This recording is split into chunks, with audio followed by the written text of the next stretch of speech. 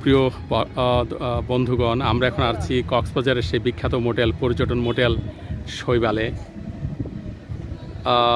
এখানে তিনটা মোটেল রয়েছে, তার মধ্যে সবচেয়ে বেশি পরিচিত হচ্ছে এই শৈবাল মোটেল।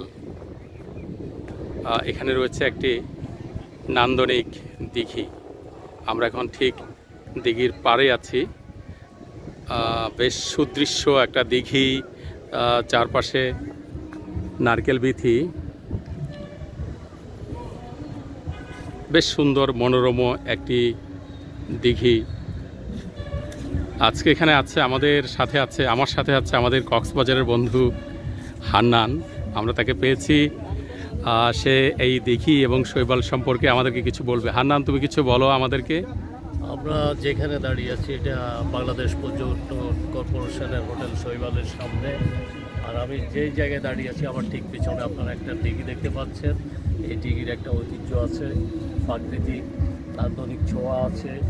আমরা যখন ছোটোবেলায় মুভিতে দেখতাম এই দিঘির অনেক দৃশ্য, আমাদের সেই চলচ্চিত্র নায়িকা সাবানা, ববিতা, কবরী, এরা অনেক শুটিং করেছে।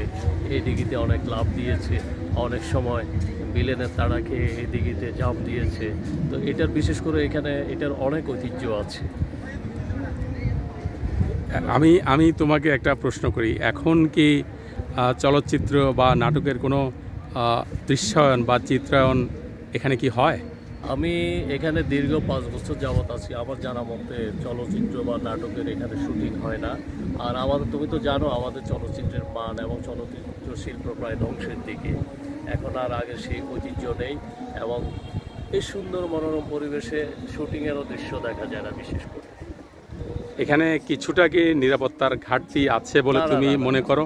না না নিরাপত্তা হান্ড্রেড পার্সেন্টই সিকিউরিটিটা আচ্ছা আচ্ছা। হচ্ছে না হয়তো শুটিং যা হয় সেটা অন্যদিকে হয় এটা হয়তো কদর কমে গেছে চলচ্চিত্রে যারা ছবি বানায় বা নির্মাতা তাদের কাছে। কিন্তু আমি মনে করি যে এটা এখনও অরণ্য অরণ্য নান্দনিকতার ছোঁয়া আছে এখানে। ধন্যবাদ হান্নান তোমাকে আপনারা দেখতে পাচ্ছেন। আমি যদি আপনাদেরকে একটু দেখাই এই পাশে একটা শান বাঁধানো ঘাট রয়েছে।